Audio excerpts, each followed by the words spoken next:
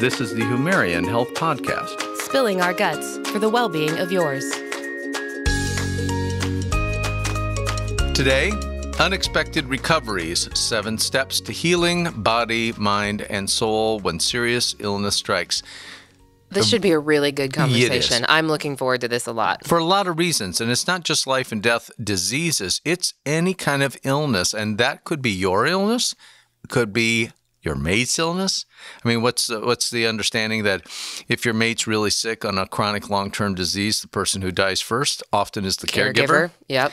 And we're going to do some caregiver programs and give you some indicators and some ideas what to do because that's not covered enough. But if you do have the illness or someone you love has the has an illness, exactly how do you get through it? Because yeah, you got medical treatment or chiropractic or osteopathic or this or that, all those types of things you might be actually doing. The question is, how do you get through it? Right. Mentally, emotionally, physically, financially, Spiritually. chemically. How do you that, take yeah. control back of your life? Because illness takes you out. Yes. Uh, here's here's the worst patient.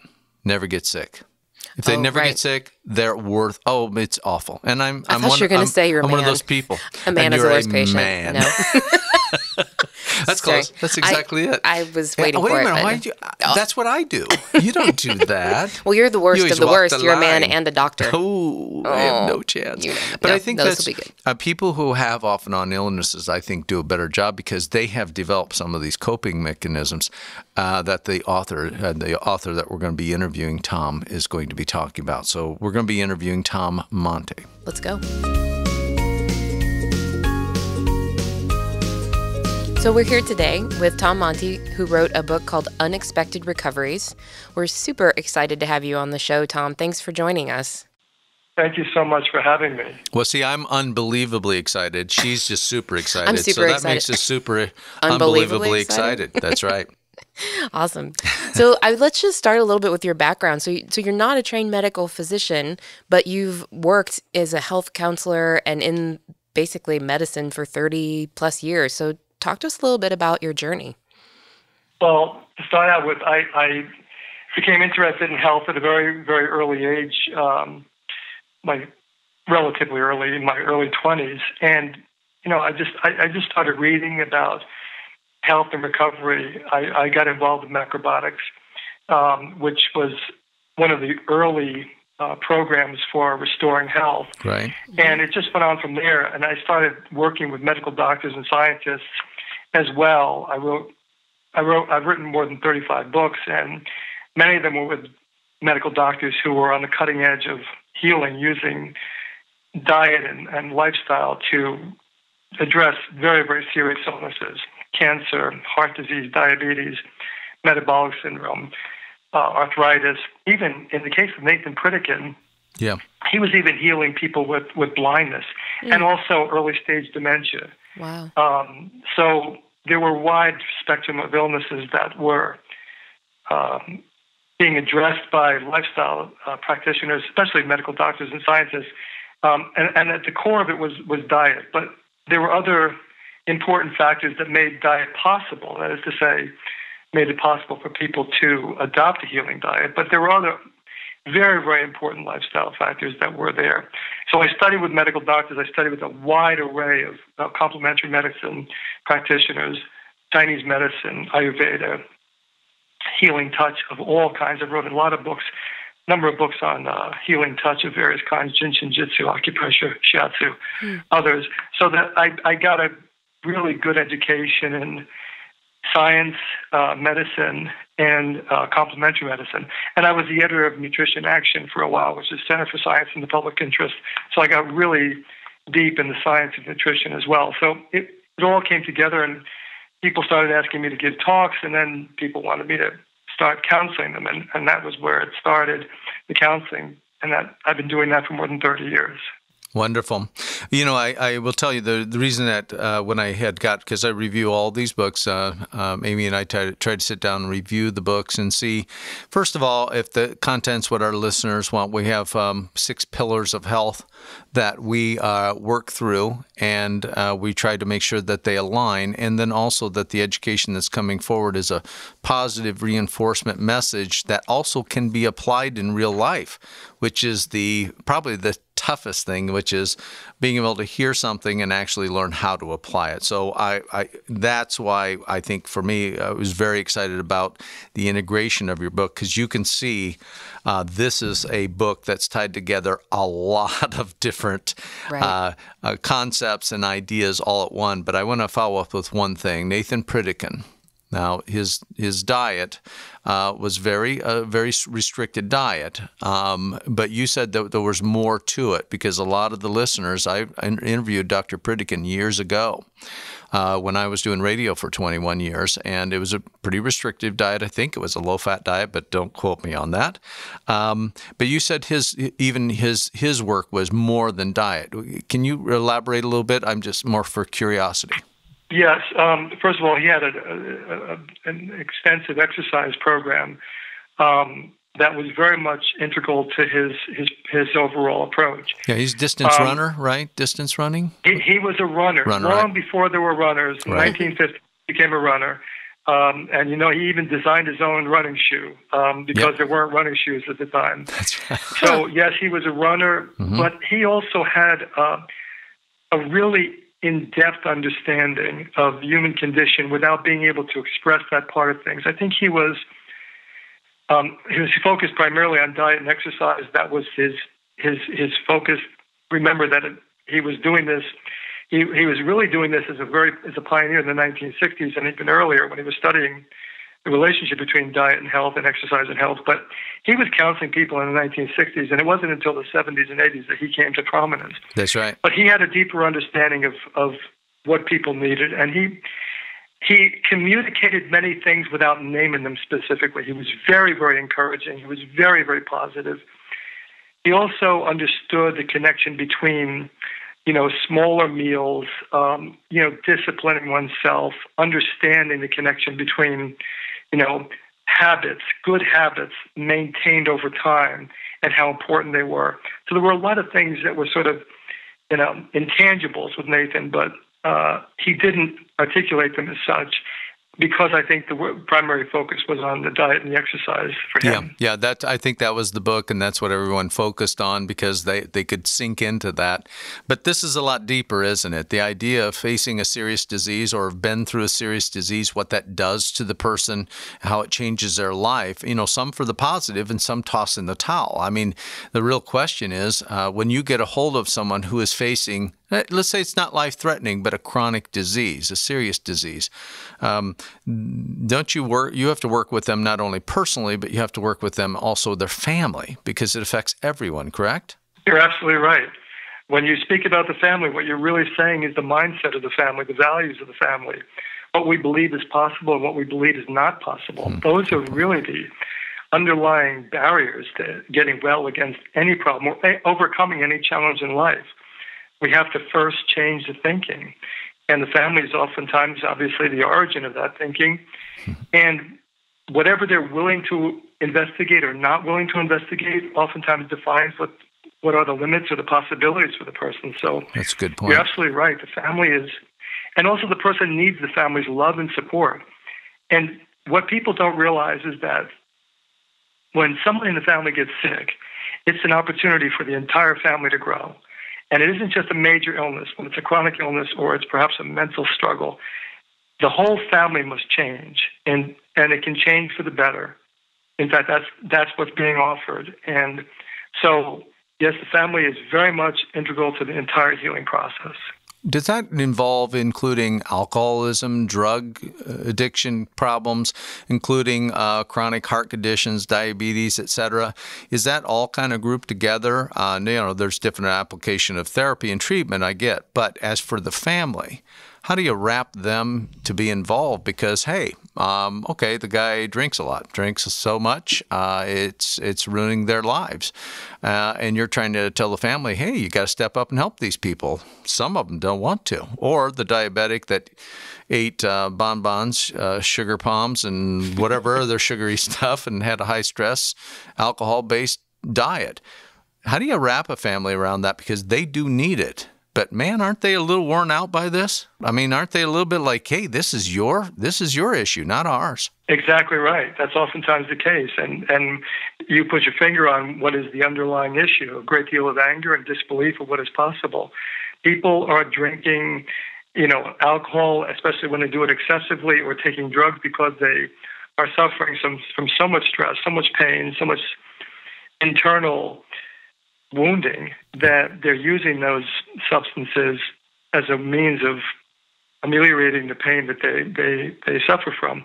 What I do always is I never judge. I try to get to the roots of the problem without making anyone feel shame or, or make them feel smaller. And I also want them, uh, want them to understand that, you know, there is a great deal of anger in them and that anger stems from deep disappointment in life. Right. And very often they're using drugs and alcohol to deal with that disappointment. They have to understand, number one, that a great deal more happiness and experience in the positive is possible for them. They have to understand that that's possible. And I can oftentimes identify what is possible and also to give them the means to see it themselves. So they have to see that. Number two, they can't feel that they're doing something, you know, moralistically wrong. They have to realize that they're dealing with their pain in an ineffective way and it's not efficient. Mm-hmm. And so let's identify or let's talk about the pain, what it is that you're really suffering from, and then let's talk about ways that are really going to heal that pain. Alcohol puts people out of their misery temporarily and then multiplies the misery afterward. It's the same with any drug. So we have to talk about how everything's going downhill as, or everything's going into a greater uh, degree of darkness as a consequence of the alcohol or the drug addiction, and that the person that they love in their family is suffering right now, and it needs everyone needs to step up and do a little bit better with their lives. That's what's possible. And it, uh, very often it's the love that they have for their, their son or their daughter, their, their wife or their husband, their partner. Um, you know, it's very often the love that saves everybody. So that's what we have to focus on. And then the practical measures, which every one of the steps in the pro in the in the in the program that I describe in my book, every one of those steps is a is an act of love. Dealing with fear effectively is an act of love. And there's a whole prescription for that. Taking responsibility, learning more about the illness, learning more about what, what you're actually struggling against. That's an act of love. All the investigation that one spends time and, and, and achieves a certain clarity around, okay, this is the illness and this is what we have to do, and this is what the medical profession is saying, this is what the complementary healers are saying. The diet is so important, it's central and what can it do? What will it do for us? And how much time do we need to be on this before it starts to have a real big impact? That's all, that whole investigation into that. The daily cooking is an act of love. Eating it carefully, sitting with every, sitting with family members, it's all an act of love. Developing loving relationships, getting healing touch, all of it is heal is, is an act of love.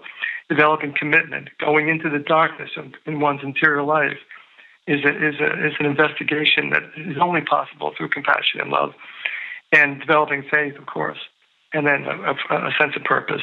These are the steps, and they're every one of them an act of love. So that's very often the thing that pulls the family in, in a whole other direction. Okay, let's um, let's uh, role play. Oh no. I'm if afraid. you're up for it, I'm, Tom. I'm afraid already. Hey, no, li- listen, Unless we're going to use you as the patient target, It is. Dr. I'm going to be Benzinger. the okay, bad good. guy, okay? Because right, that's perfect. you know permanently my life lifestyle, the bad guy. Okay, but um, but Tom, if you'll play with us and just see, because your book, I mean, uh, let me tell you the, my impression of listening to you: soothing, knowledgeable, unconditional approach to help somebody. I, I hear that Thank in your you. voice. I mean, it really. Mm-hmm. If I if if, if I got I got patients, I'm like, if you're here in Indy, you're you're getting lined up. You would have like a a, a few thousand people to work with because you, you can tell you have it. I hope you're not just writing books and not dealing with patients because Oh no, I, I am. I'm Good, dealing with a 'cause- lot of clients. oh man, you're just good. Uh, but I- thank you so much for saying that. It, it comes through in what was that? What three minutes Right, comes through? yeah. Didn't you feel that way? Yeah. I mean, it's just soothing. You could just listen to him, and it's like it gives gives you hope when you don't have hope and things are hard. And okay, so let's, uh, if I can, just a short role play and go from there because, um, you know, the first part of getting through the shock is a big deal. So let's just say I come home to wife Amy. Oh boy. We're pretending. okay, good. Okay, Jeff, don't don't. Yeah, my okay. husband's. Yeah, husband's not gonna be okay. Okay, so so wife Amy, I come home and I now have been diagnosed with diabetes, severe, and a heart condition. Uh, that's uh, surgically cannot be repaired. You're going to have to deal with it, and eventually I'll end up with a heart replacement. Now, the truth of the matter is, I've been a workaholic that has put my family secondly, second. I don't exercise, and my wife, who has been preparing great meals at home, I ignore, and I go to the local fast food restaurant, and I have my, you know, my fifth of whiskey when I get home, just to tolerate dealing with my family. And I and I know that sounds extreme, but honestly, that's not that extreme. But let's just say that that's me, and and and now what would you do to help us was first thing I've had to explain it to Amy. Amy's in shock. I'm in shock because I thought I was going to get away with it forever. And now we're sitting down with you. What do you do with this? How do you walk us through this? Because your book is it. And we don't have a long time. I know you're just going to jump because they're going to have to buy unexpected recoveries because they need to. You have poured so much into this. So we're going to highly recommend it. But I think this might help the listeners be able to put themselves in a position of a lost loved one, an Alzheimer's patient, uh, an autistic child, whatever. Well, and the where That's to start, reality. right? The where to start. Where do That's you what start? we're What do you do? trying to So, help people with. Would you mind starting with Amy and I and see if we can help help us? Not at all. I'm happy to address, it, unless assuming I'm talking to you, Sean, or, or you, Amy, and obviously it would be different because you're the spouse, Amy, and, and, and Sean, you're the, the one who hypothetically is suffering. The first thing we have to do is to go into the suffering.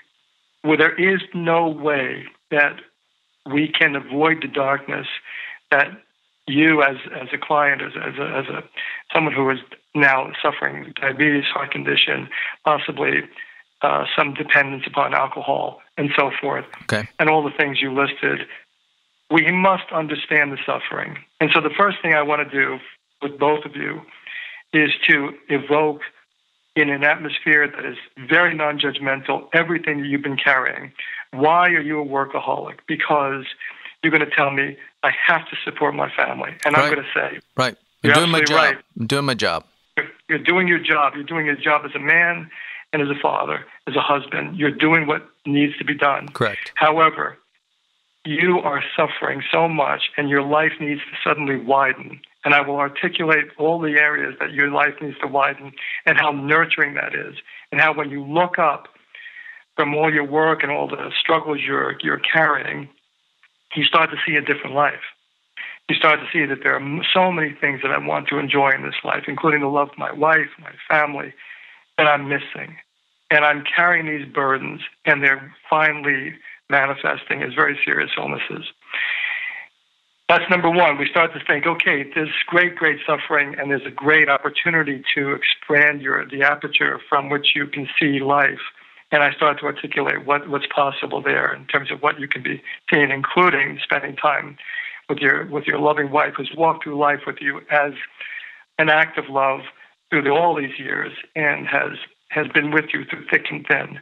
And it's time now to experience your, the depth of your gratitude and the depth of your love for this person and the family you, you, you have. Second thing you have to do is to understand that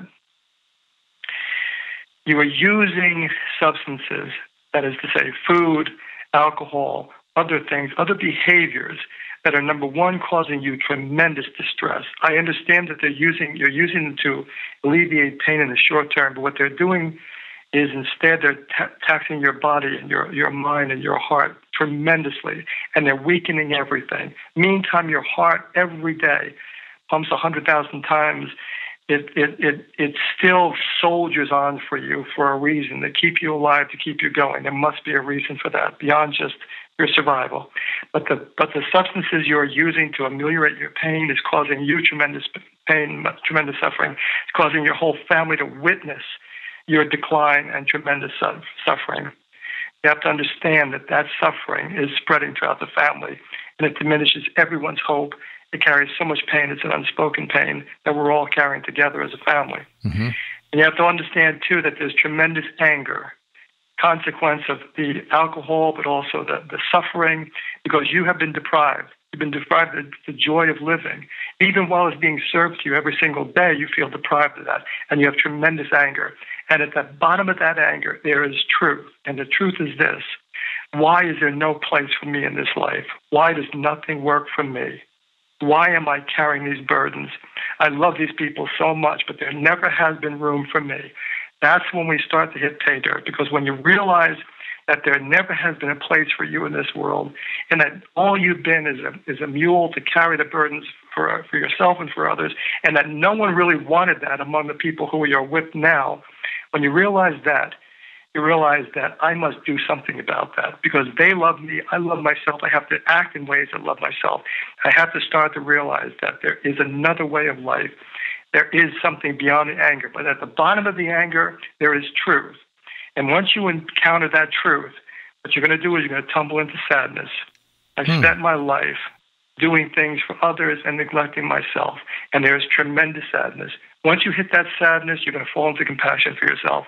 And that's when we can make a difference for everybody. When there is compassion, consciousness is layered. And when you enter the deeper layers of consciousness, you get to the healing energies, sadness, compassion, and the infinite love that exists in every person. And all the healing energies, those frequencies that change the way every cell functions and the intelligence that lives in those energies starts to be able to make a difference in your lives. And then you begin to see how important taking the burdens of the physical body with, the, with changes in diet, taking a walk every day, you know, diminishing with the intention of stopping the alcohol. In fact, stopping the alcohol is, is a very, very important step. But the first step may be diminishing it for the purposes of just experiencing a smaller burden on oneself and then we can introduce other things. As long as you're not eating foods that are highly stimulating and highly burdensome to the body, the need for the alcohol will gradually diminish until finally you can say, I don't really need this at all anymore. But we need to change the diet fundamentally. We need to get some exercise. We need to get a lot of healing touch. Once you start being touched, by the way, healing touch dramatically elevates serotonin levels in the brain, which gives us a sense of well being, gives us a sense of being cared for, loved, all that energy of healers, which transmits so many volts of healing energy.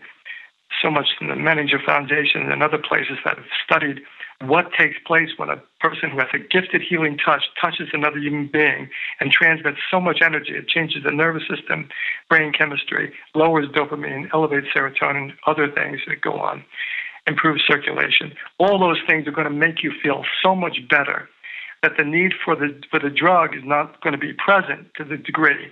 Then one day you're going to wake up and say, "Wow, life is worth living." And life is worth being with the people I deeply care for. And you're going to be in a very, very different setting with yourself and with the people who really matter most in your life. At that point, you can't help but realize that something larger than yourself, a greater intelligence, something divine in nature, was guiding you the whole time. And then there's a breakthrough. And then everything is possible at that point. So, do you believe, and I'm just going to jump on that point just for a moment, um, two things that that on higher power frequently comes into play with change? That's absolutely the. Not only is it a statement of belief, it's a statement of fact. You have a 100 trillion cells. Every one of those cells are doing things that no, nothing in your mental faculties could possibly even comprehend, much less direct. There are tiny protein messengers called kinases traveling to distinct locations on a 23,000 gene genome. They're doing, they're taking things to mitochondria. They're taking things to the cell membrane, opening insulin receptor sites and other, other activities on the cell membrane. They're doing things right now, 100 trillion cells doing things right now that nothing in our minds could possibly, possibly be directing. There's, a, there's, a, there's an intelligence that's directing the entire organism on a cellular level and on a, on a total symphony level that is on one hand on acting microscopically and adjusting to stresses, oxygen, carbon dioxide levels, immune cells, pathogens in the environment, making adjustments that are just beyond anything comprehensible by human intelligence. There's an intelligence that's doing everything in this. For you very differently than for Amy, very differently from me in this this moment because we have we're in different environments. All of that is making distinct and very precise adjustments for one purpose, for you to function optimally. And that inherently is love. And that love is trying to guide us in every single aspect of our lives, not just the cellular function, although that by itself is a mind boggling uh, feat of itself, but it's, it's something that's wanting to guide us in every facet. How did you two of you meet? Just uh, whenever I ask somebody that, they love telling me, well, we met in this way, and these synchronicities took place, and it was magical. And of course it was. Something brought you together, something brings people together an intelligence that is inherently, first of all, a woven web throughout the universe, but is, is inherently acting from love to support you in a process. And when you get that, when you start to, you know, eat a little bit better, take better care of yourself, awaken to the love that's around you, you start to hold that as a possibility. There's something that's helping me. And that's enough usually to make a huge difference internally, especially in terms of one's health. But Tom, just so you know, when Amy and I met, she ran over me on a roller derby. Um, and, and, not true. So, so I did not run you over. Most pleasant. Uh, memory, I did it in love. Uh, but I did it in love. actually, no. I love um, Tom. Actually, I love all of what you're. I mean, you've hit on so many kind of yeah. critical areas yeah. from um, practical, super practical things like you know what you eat and and how you move and exercise, and then maybe some things that people are perhaps a little less familiar with, possibly in the healing specialties that you talked about, um, and and really how those work, um, and then our commitment to change and like really mm-hmm. like dig through and understand our past and our suffering and kind of to get to that truth. I, I that was so well articulated. Mm-hmm. I love that. But one of the things um, I think that is also part of the process that you talked about um, in the book, which came as a surprise to me a little bit, is the community service aspect or the sort of mm. giving back aspect. Um, I mean, can you share a little bit about kind of why that is sort of also baked into or, or contemplated as part of this process and, and why that is critical on the pathway to recovery? That's so important you recall, I'm sure, recall Carl Simonton, Texas physician who worked with cancer patients and who made many uh, discoveries of the, the psychological, spiritual nature in which people who had unfinished business and were committed to finishing that business. That is to say, I, I want to um, see my daughter graduate from college, or I've got to work something out with my son, or I've got to heal my relationship with my wife. Those people who had some unfinished business that they were completed, they were committed to completing. Those people lived longer than people who felt that they, they had finished their lives or were not capable of succeeding in areas that they thought were crucial to their lives. So there's this aspect of life that is the will to do something greater than just my survival. And the New York Times had a great article in, in January of 2000, or actually in the early part of the year of 2000. What happened was that people uh, died in record numbers in January 2000 and it turned out that what they discovered when researchers looked at that more carefully, well, what was the reason? And they realized that people were willing themselves to see the new millennium come in. They thought it was very, very important to see the year 2000 come into come into being. And so what they did was they willed themselves. And when the researchers looked at this, they, they acknowledged, yes, that's very that's what happened. And also, it was it's possible to will ourselves to to live little live longer on the basis of something we want to accomplish. People who have a purpose live longer, and now lots of studies looking at this very question have been done, and it's it's fascinating to see that what is the, the meaning of purpose? What is the essence of it?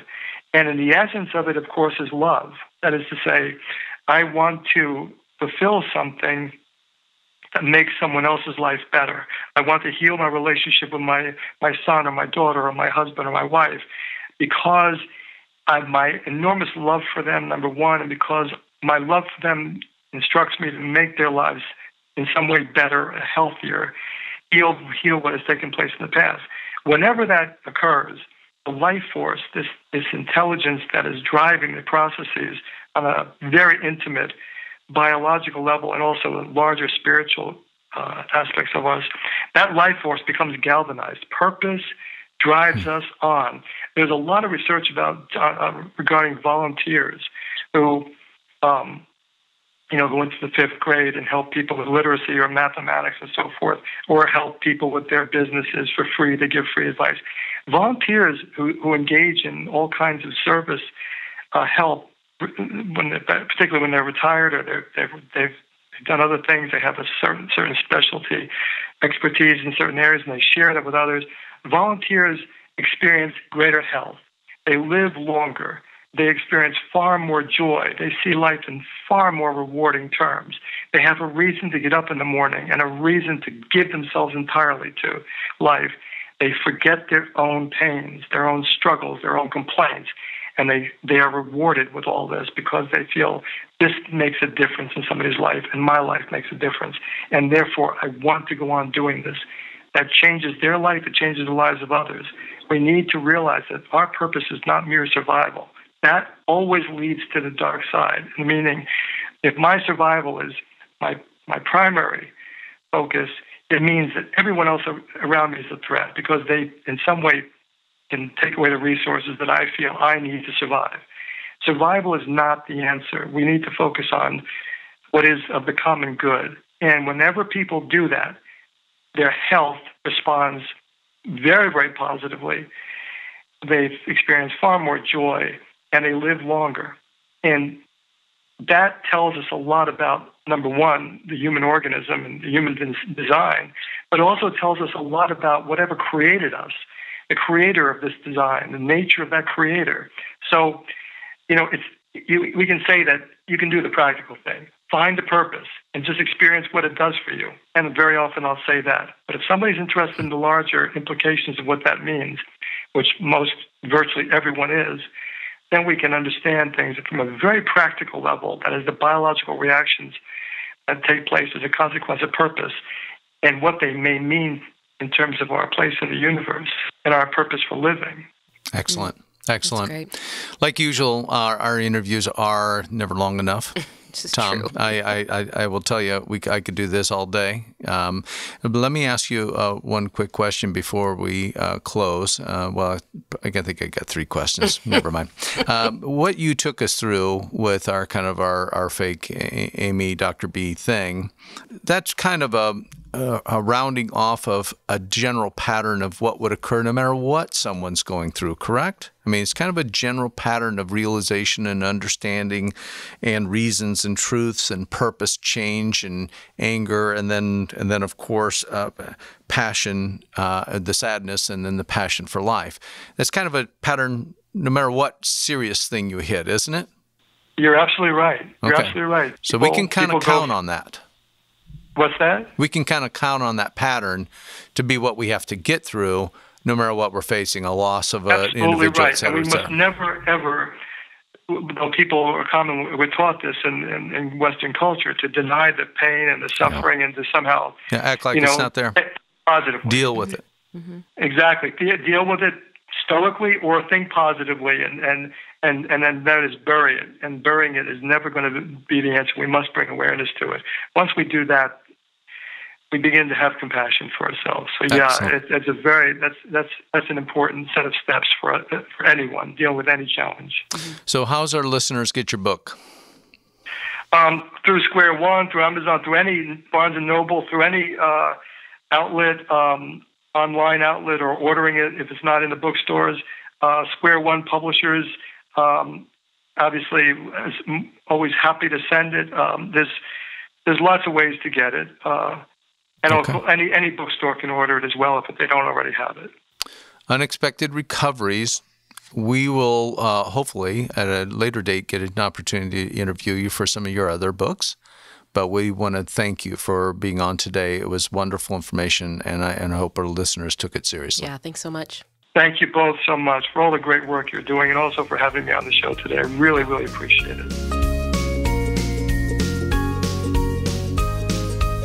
All about the love.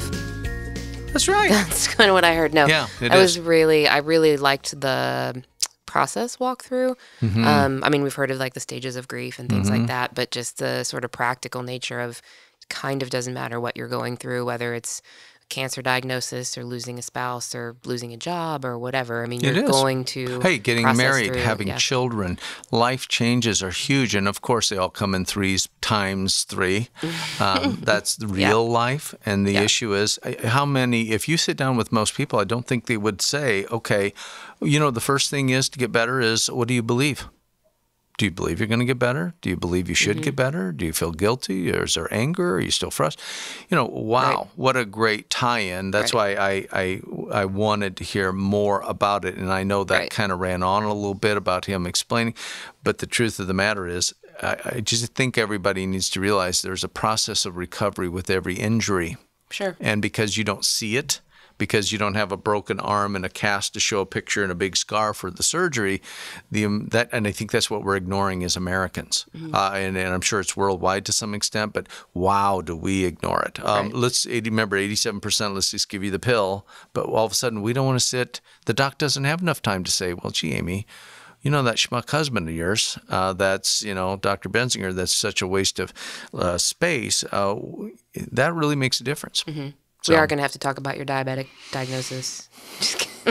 And my heart disease and my, my well, and there's the, there's that sort of um, uh, like accidental condition, like oh, I just got diagnosed with diabetes. How did that happen? how I mean, that- it's, that yeah, never But yeah, so I also appreciated that more. I mean, it's the holistic thing, right? Like, what is it about your life and what you believe about yourself that results in the behaviors that you exhibit, which Mm-hmm. then result in the health conditions that you suffer from, which then put you on that Absolutely. path to recovery. And it's d- not a one and done deal. No, right? and it's Yeah. a process of Yeah. understanding. But I really like the don't judge. And I was thinking about you at that point. I'm I don't thinking, judge. Don't judge. Well, Hashtag don't I'm judge. sorry, but if it was switched, I don't know that I could not be a little torqued at you. I'm feeding these good meals, and we Mm-hmm. got a family situation, and you ignore it. You won't eat it. You're drinking whatever, and you're ignoring us, and we don't have a relationship.